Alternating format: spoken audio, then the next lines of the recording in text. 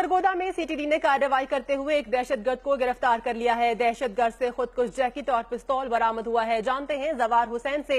जवार हुसैन, बताइएगा, मजीद क्या बरामद हुआ है इस दहशतगर्द से?